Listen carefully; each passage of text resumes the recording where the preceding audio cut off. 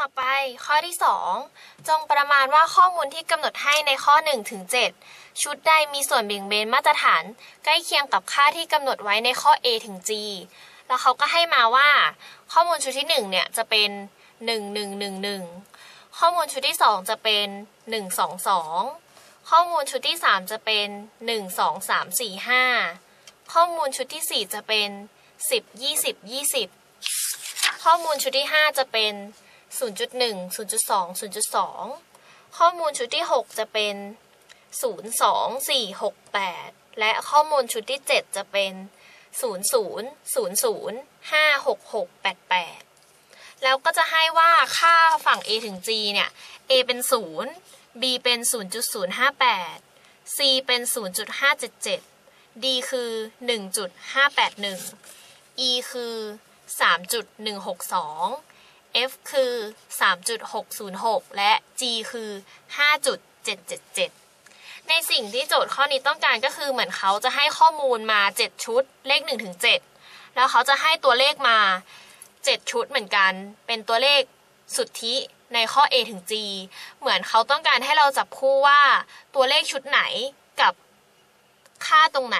มันเป็นส่วนเบี่ยงเบนมาตรฐานของกันและกัน แล้วน้องก็จะเห็นได้ว่าข้อมูลเนี่ยมันไม่ได้ใกล้ชิดกันมาก ดังนั้นเนี่ยเราไม่จำเป็นต้องหาค่าจริงแบบทศนิยมทุกตำแหน่ง เราก็แค่ใช้การประมาณบ้าง เพื่อที่ว่ามันจะได้รวดเร็ว เพราะว่ามันมีถึงตั้ง 7 ข้อย่อยงั้นเราก็จะมาเริ่มกันเลย พี่จะเริ่มดูจากข้อมูลชุดที่ 1 ก่อน เราจะเห็นได้ว่าข้อมูลชุดแรกเนี่ยมันเป็น 1 ทั้ง 4 ตัวเลย น้องก็จะเห็นได้ชัดเลยว่า มันเป็นข้อมูลตัวเดียวกันทั้ง 4 ตัว ดังนั้นมันจะไม่มีการกระจายเลย เราก็เลยจะได้มาแล้วว่า ส่วนเบี่ยงเบนมาตรฐานของข้อมูลตัวแรกเนี่ย มันจะมีค่าเป็นศูนย์เลย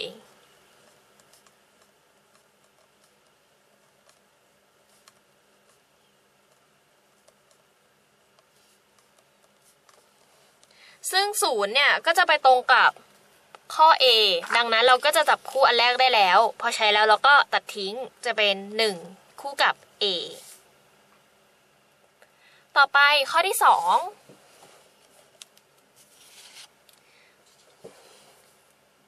ข้อมูลในข้อที่ 2 เนี่ย มันจะเป็น 1 2 2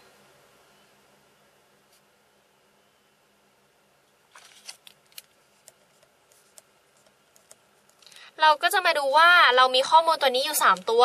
ก่อนอื่น น้องต้องนึกขึ้นมาก่อนนะว่าการที่เขาให้เลขมาอย่างนี้เนี่ยหมายถึงในแต่ละข้อเนี่ยเขาจะสนใจแค่เลข 3 ตัวนี้ เราก็เลยจะใช้เป็นสูตรของประชากรงั้นพี่ก็จะนึกขึ้นมาว่าสูตรของประชากรเนี่ยมันก็คือซิกมาเท่ากับสแควร์รูท ลรวมของ xi ลบด้วยมิวทั้งหมดกำลังสอง โดย i เป็นตั้งแต่ 1 จนถึง n ด้านล่างหารด้วย n ดังนั้นก่อนอื่นเนี่ย เราก็จะต้องไปหาก่อนว่ามิวมีค่าเป็นเท่าไหร่ มิวก็จะหาโดยการที่เราเอาข้อมูลทุกตัวมาบวกกัน แล้วหารด้วยจำนวนข้อมูล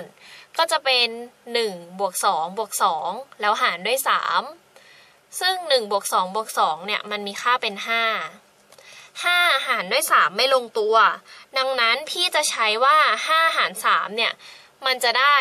1.66666 ซึ่งถ้ายิ่งทศนิยมเยอะเนี่ย เราก็ต้องยิ่งคิดเลขเยอะ พี่ก็เลยประมาณว่ามันเป็นประมาณ 1.7 ละกัน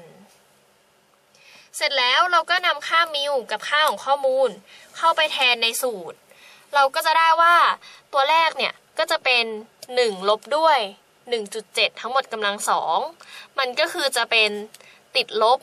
0.7กำลังสองตัวถัดมาจะเป็น 2 ลบด้วย 1.7กำลังสองก็จะเป็น 0.3กำลังสอง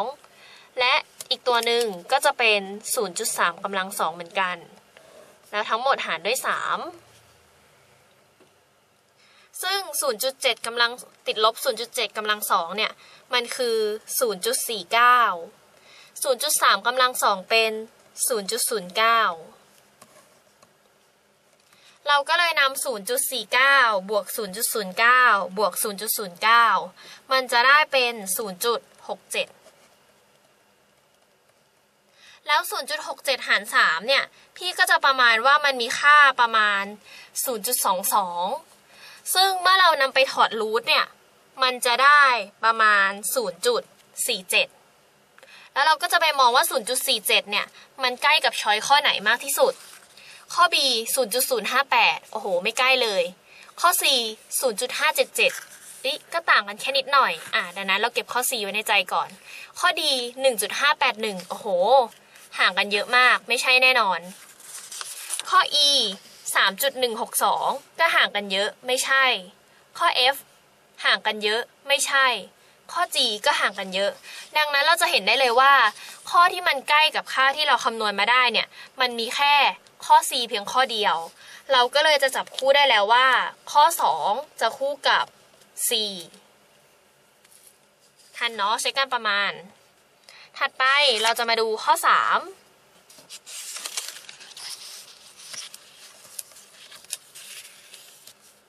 ข้อมู ลในข้อ 3 ของเราเนี่ย มันเป็น 1 2 3 4 แล้วก็ 5 เราก็จะทำการหามิวก่อน มิวก็จะเป็นให้เราเอา 1 บวก 2 บวก 3 บวก 4 บวก 5 แล้วหารด้วย 5 เพราะเรามีข้อมูลอยู่ 5 ตัว ซึ่ง1บวก2บวก3บวก4บวก5เนี่ยจะมีค่าเป็น 15 15 หารด้วย 5 เป็น 3 เสร็จแล้วเราก็นำเข้าไปแทนในสูตร เราจะได้เป็น square root อะคราวนี้เราน่าจะจำสูตรได้แล้วเนาะจากหลาย ๆ ข้อ ดังนั้นพี่จะละสูตรเลยละกันนะ แทนค่าเข้าไปเลย เราก็จะเอาเป็น1ลบ3กำลัง2ถัดไปก็จะเป็น 2ลบ3กำลัง 2 ถัดมาก็จะเป็น 3 ลบ 3กำลัง 2 4 ลบ 3กำลัง 2 แล้วก็ 5 ลบ 3กำลัง 2 ทั้งหมดหารด้วย 5 ซึ่งเราจะได้ว่าด้านบนเนี่ย มันก็จะเป็น 4 บวก 0 ท่าที่จะเป็น 4 บวก 1 บวก 0 บวก 1 แล้วก็บวก 4 ซึ่งทั้งหมดเนี่ยมันจะรวมกันเป็น 10 ก็เลยจะได้เป็นรูท10 หาร 5 ก็คือรูท2ซึ่งรูท2เนี่ย เราก็รู้อยู่แล้วว่ามันจะมีค่าประมาณเป็น 1.414 แล้วเราก็จะไปมองว่ามันใกล้เคียงกับช้อยไหน ข้อ B 0.55 0.058 โอ้โห ไม่ใกล้กันเลย ข้อดี 1.581 ใกล้มาก น่าจะเป็นข้อนี้ ต่อไปข้อ E 3.162 โอ้โห ไกลมากไม่ใช่ F G ก็ไกลมากก็ไม่ใช่ เราก็ได้ทันทีว่า ข้อ 3 เนี่ย จะไปคู่กับช้อย D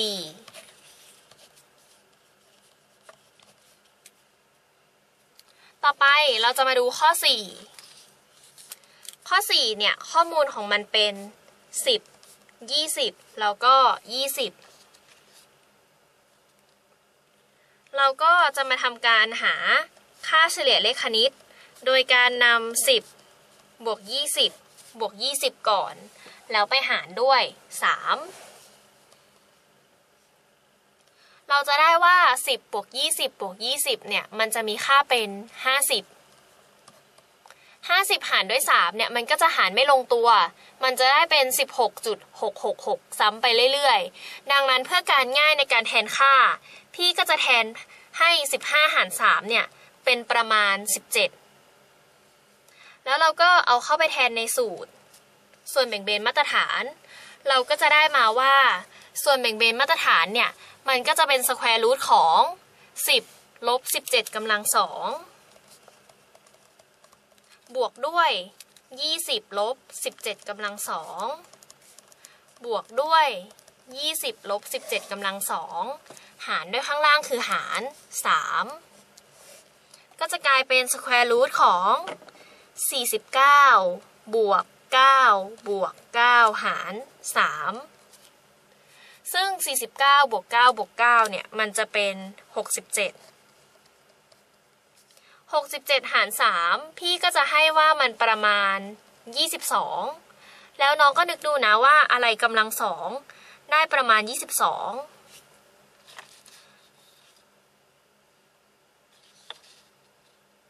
เราก็จะได้ว่าปกติเนี่ย4 4 16 5 5 25แปลว่าอันนี้เนี่ยมันต้องเป็น4กว่ากว่าไปเกือบ5แน่ ๆ เลย ซึ่งเมื่อเราลองไปคิดเลขเนี่ย มันจะเป็นประมาณ4.7 แล้วพี่ก็จะดูว่า 4.7 เนี่ย มันใกล้เคียงกับช้อยไหน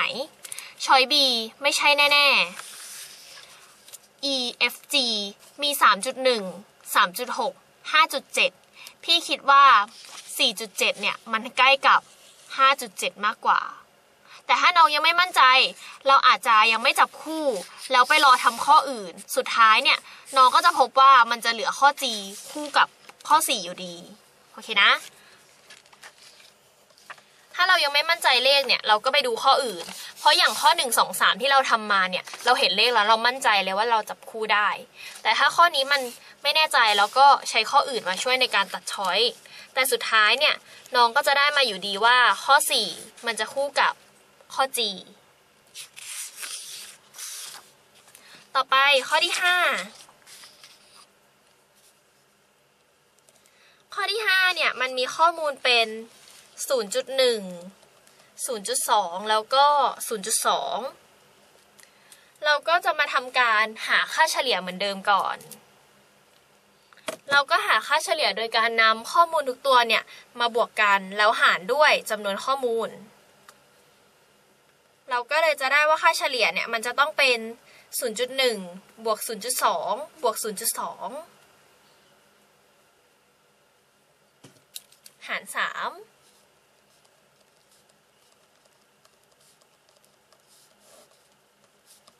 ซึ่งด้านบนเนี่ยมันจะรวมกันเป็น 0.5 0.5 หารด้วย 3 ก็จะหารไม่ลง แต่ว่าเราก็เลยจะประมาณว่า คือมันจะหารกันเป็น 0.1666 พี่ก็เลยประมาณเป็น 0.17เสร็จแล้วเราก็แทนเข้าไปในสูตรส่วนแบ่งเบนมาตรฐาน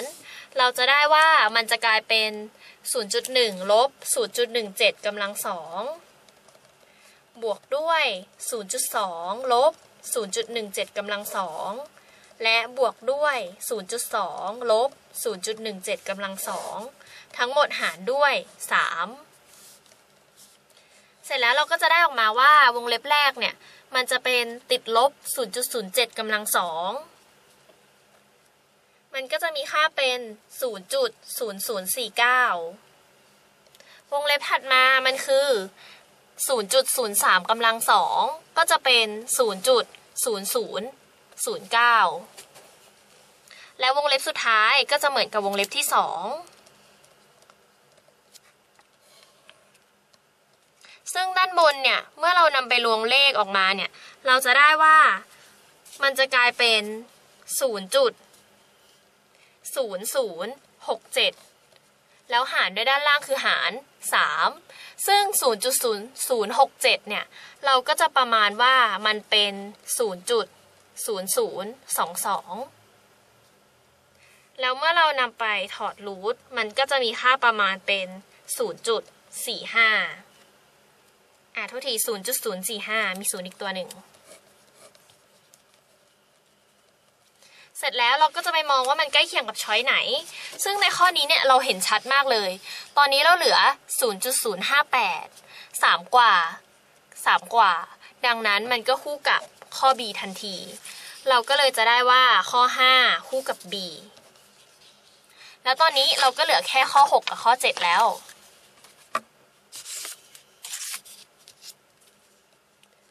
ข้อ 6 เราก็จะมาดูว่าข้อมูลในข้อ 6 เนี่ย มันคือ 0 2 4 6 8 เราจะมาหาค่าเฉลี่ยโดยการนำทั้ง 5 ตัวนี้มาบวกกันก่อน แล้วหารด้วยจำนวนข้อมูลคือ 5 ตัว 0บวก2บวก4บวก6บวก8เนี่ย มันจะมีค่าเป็น 20 20 หารด้วย 5 จะเป็น 4 พอเราได้มิวมาเราก็จะนำไปแทนในสูตรส่วนแบ่งเบนมาตรฐาน เราก็จะได้ว่าส่วนแบ่งเบนมาตรฐานจะเป็นรูทของ0ลบ4กำลังสองบวกด้วย2ลบ4กำลังสองบวกด้วย4ลบ4กำลังสองบวกด้วย6ลบ4กำลังสองแล้วก็บวกด้วย8ลบ4กำลังสอง ทั้งหมดข้างล่างจะหารด้วย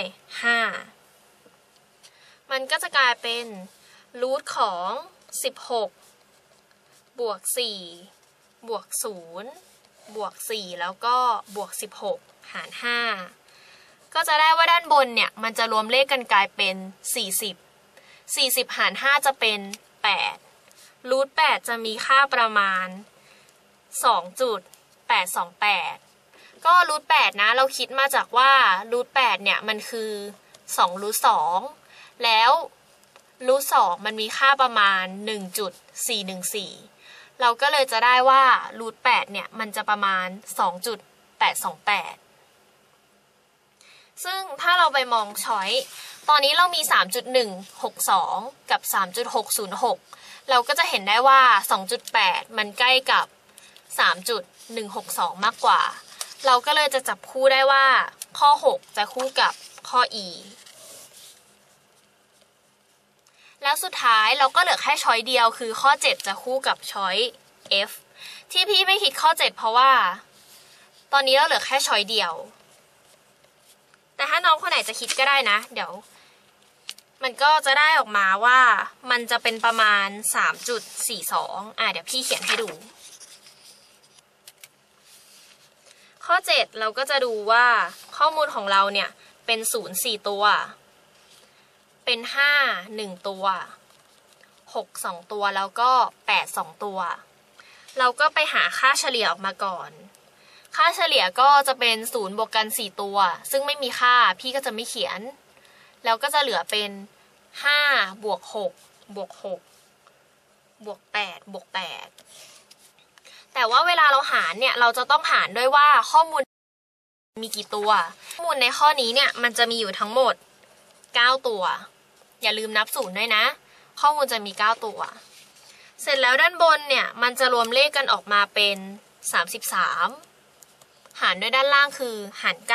9 ซึ่ง 33 หาร 9 เนี่ยมันคือ 11 ส่วน 3 ถ้าเราประมาณค่าเนี่ยมันก็จะเป็นประมาณ 4 ละกัน เพราะว่า 11 ส่วน 3 เนี่ย มันคือ 3 ปลายปลาย แล้วเราก็จะไปทำการคิดส่วนแบ่งเบนมาตรฐานมา เราจะได้ว่ามันจะเป็น0ลบ4กำลัง2บวก0ลบ4กำลัง2บวก0ลบ4กำลัง2แล้วก็บวกด้วย 0ลบ4กำลัง2เราจะเห็นได้ว่า เรามี0ลบ4กำลัง2อยู่ 4 ตัว พี่ก็จะเขียนตัวเดียวแล้วคูณด้วย 4 ด้านหน้า เสร็จแล้วถัดมาก็จะเป็น5ลบ4กำลัง2 6ลบ4กำลัง2 6ลบ4กำลัง2แล้วก็8ลบ4กำลัง2 2ตัว ทั้งหมดหารด้วยมีอยู่ 9 ข้อมูล เราก็จะได้ว่าตรงนี้เนี่ย มันจะกลายเป็น 4 คูณ 14 ก็คือเป็น 64 ไปบวกด้วย 1 จะเป็น 65 แล้วไปบวกด้วย 4 จะเป็น 69 บวกอีก 4 จะกลายเป็น 73 ทันไหม6ลบ4ได้ 2กำลัง 2 เป็น 4 ต่อไป8ลบ4เป็น 4กำลัง2เป็น 16 16บวก73 เมื่อกี้ จะกลายเป็น 89 และไปบวกอีก 16 จะกลายเป็น 105 เราก็จะได้เป็นรูท105 หาร 9ก็ 105 หาร 9 มันจะหารไม่ลงตัวเนาะ แต่ว่าเราจะได้มาว่ามันจะมีค่าประมาณ รูท11.7ซึ่ง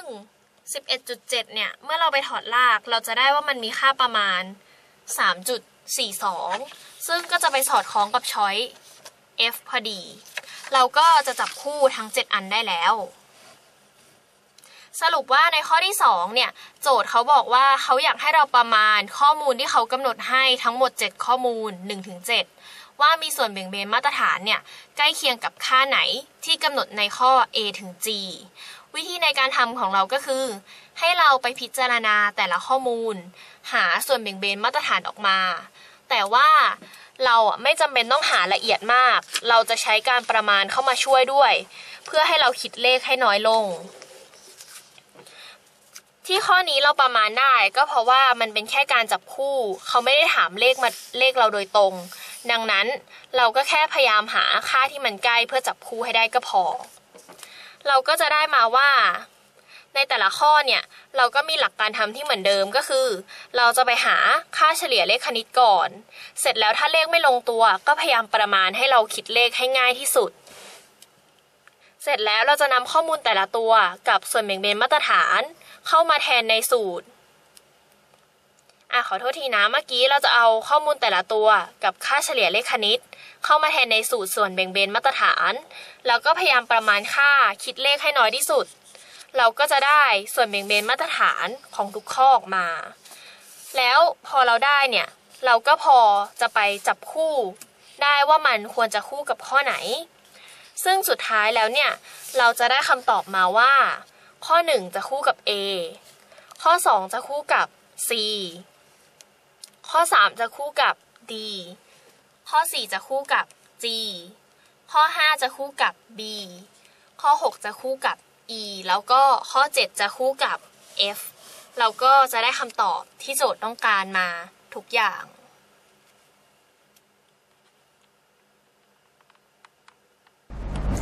ดูจนจบเลยคิดถึงกันใช่ไหม